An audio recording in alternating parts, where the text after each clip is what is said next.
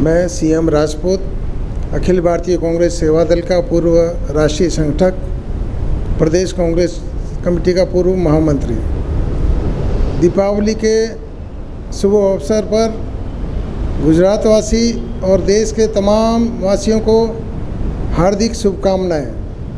नया साल मंगलमय हो और कोरोना से हम निजात पाएँ, सभी स्वस्थ रहें ऐसी शुभकामनाएँ देता हूँ और आने वाला समय आर्थिक तौर से हमारे देश के नागरिक संपन्न बने ऐसी शुभकामनाएँ देता हूँ।